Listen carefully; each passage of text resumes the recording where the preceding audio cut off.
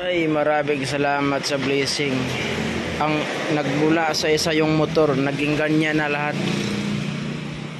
Yung sinubukan ko nung nagbalik ako ng bayan sale, sinubukan ko na isang motor lang ang ginawa kong kapital. Ngayon, naging ganyan na, apat na.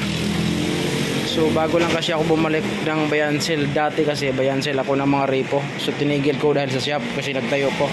Ngayon, bumalik ako ng bayan sale, sinabay ko ang pagbablog, ayun, sa awa ng Panginoong Diyos.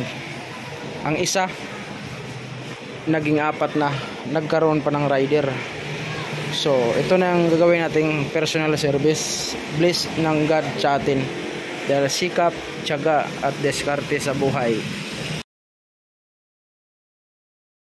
Estimate, dalawang magpa-estimate. Try natin kung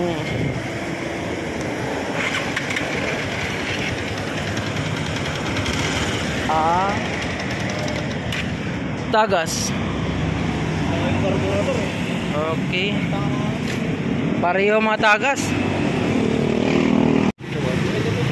Tagal na, taon na rin mahigit.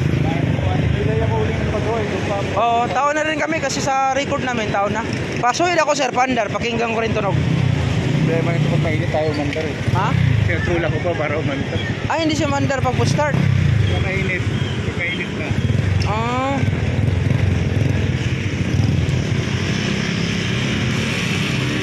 Ay, Bindix. Lubog na.